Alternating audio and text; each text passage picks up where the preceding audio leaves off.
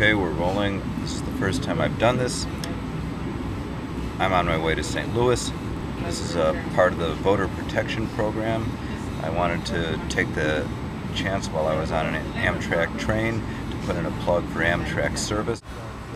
Got some serious swag on here. Can't probably can't wear it into the polling place.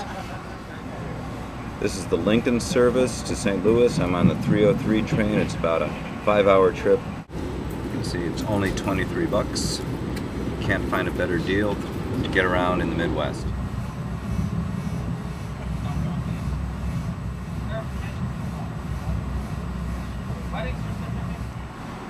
We've got some pretty spacious seats here.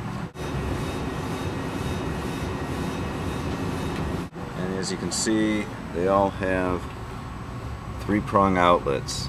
Great stuff.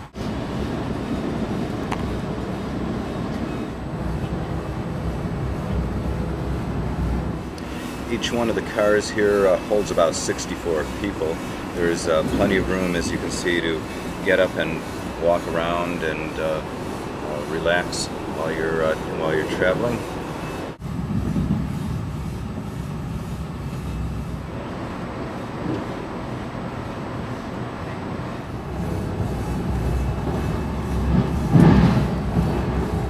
and uh, you can't beat the carbon footprint. It's a efficient and green way to travel.